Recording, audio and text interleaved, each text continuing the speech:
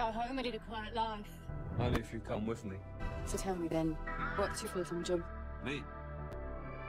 I'm a thief. Please don't tell me you're trying to steal my heart. Paramount just dropped the first trailer for Sexy Beast, a new TV series that comes before the 2000 movie of the same name by Jonathan Glazer. The show is all about the early days of two best friends, Gal Dove and Don Logan, who were thieves in 1990s London. It premieres on January 25th on Paramount.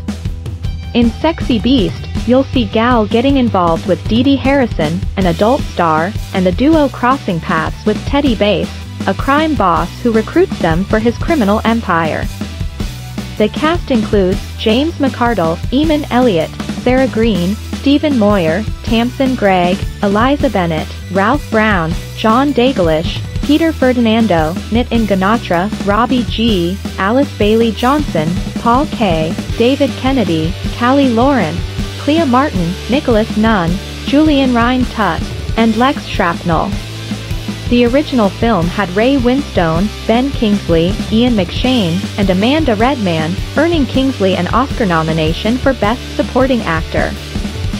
Michael Caleo, known for his work on The Sopranos, is in charge of Sexy Beast as the showrunner, executive producer, and writer.